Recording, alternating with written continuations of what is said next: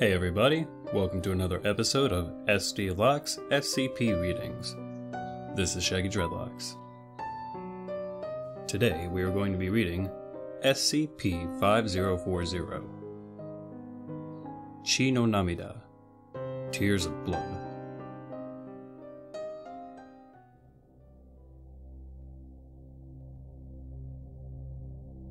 Item number SCP 5040 Object Class Euclid. Special Containment Procedures.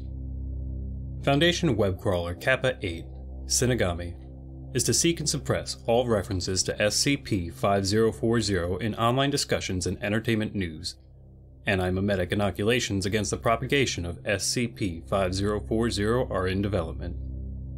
Description SCP 5040 is a non existent Japanese horror film entitled Chi no Namida Tears of Blood, which spontaneously manifests in human memories. Those affected by SCP 5040 will remember going to see the film even when their supposed attendance would contradict empirical evidence. SCP 5040 afflictions may occur in any place where movies are shown, including cultures where its content would usually be prohibited. Subtitles and or dubbing will be used when appropriate. Descriptions of the film are always similar in nature, as are the circumstances and events surrounding the viewing. However, reports of SCP-5040's story and characters are never fully consistent, and the film's setting, subplots, character names, and much of the dialogue will be different for each viewer. Casting also varies and appears largely arbitrary, a broad variety of Japanese performers and entertainment personalities, both living and deceased, have been set to star in the film, even when the actor in question has no real life associations with the horror genre. Despite these differences, the film's beginning, climax, and ending consistently hew to the same general plot. After conducting more than 300 interviews, researchers have constructed a detailed synopsis of SCP-5040's most consistent story elements and the most common sequence of events associated with the viewer's memory of their screening attendance. Addendum 5040 Prime Screenings always begin at sunset. If a subject had prior commitments for that day and time, they learn that the commitment was abruptly cancelled or resolved through unforeseen circumstances. The subject decides to spend their free time by seeing a movie at a local theater. Upon arrival, they see a large crowd gathered at the box office and learn the entire theater has been reserved for a special event a one time only screening of a rare, critically acclaimed film. Admission is free. Drawn in by the excitement, the subject indulges their curiosity and gets in line for a ticket. Most seats are already occupied when the subject reaches the auditorium, but they find an empty space in the back. They notice that a large number of people throughout the audience wear disposable face masks, even if this practice is not common in the local culture. The woman who takes a seat next to the subject wears one such mask, as does the woman beside her. The remaining seats are quickly taken, but patrons continue to file in. By the time the lights dim, the audience completely fill the aisles and stairs, leaving the areas around the exit standing room only. An IV pole carrying a bag of unknown fluid may be seen protruding from the crowd, but with no clear indication who it is connected to. The subject might also note that elsewhere in the theater, one of the masked audience members wears a hospital gown. There are no trailers or advertisements before the film. The theater goes silent when it begins. The film opens with the female protagonist going about mundane activities in her day to day life. She is interrupted by a phone call from an unknown party who tells her that a loved one has been hospitalized. When the protagonist leaves her apartment to go to the hospital, she is attacked by a male assailant and loses consciousness. When the protagonist wakes up, she finds herself in an unfamiliar building with her arms and legs bound. She is accompanied by a number of other female captives, some of whom still remain unconscious.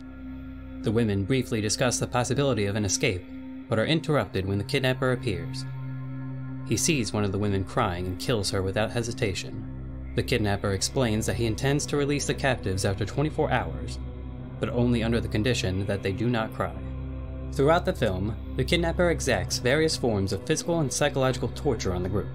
Despite their best efforts, captives prove unable to hold back their tears, and they are murdered one by one until only the protagonist remains.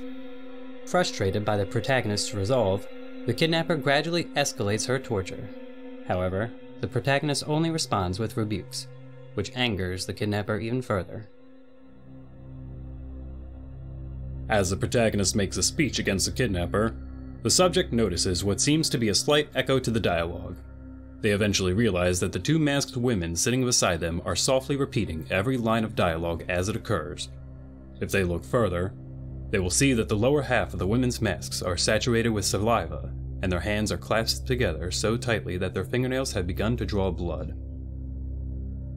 At the film's climax, the kidnapper approaches the protagonist with a double edged razor blade and announces that even if she is freed, she will spend the rest of her life horribly disfigured.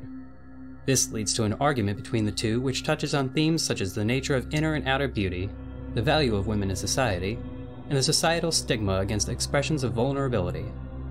Eventually, the kidnapper loses patience, throws the protagonist to the floor, and grabs her face.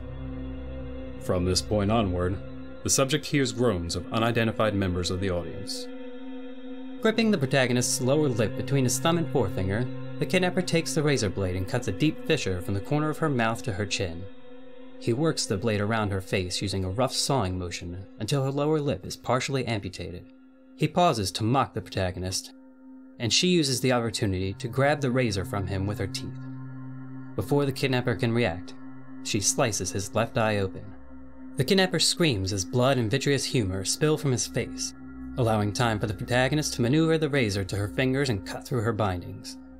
Enraged and half blind, the kidnapper grabs the remaining flap of the protagonist's lower lip and pulls sharply, tearing it from her face along with a large strip of her right cheek. As the kidnapper expresses his satisfaction, the protagonist finishes freeing herself and slits the kidnapper's throat with the razor.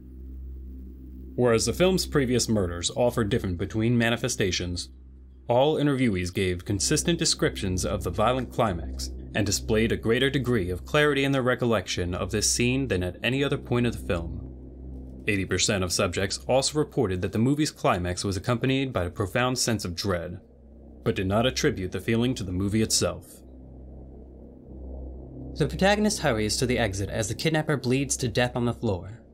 Although her speech is impeded by her injuries, she pauses before leaving to mock the kidnapper one last time, calmly telling him that he cried tears of blood and therefore had to die according to his own rules.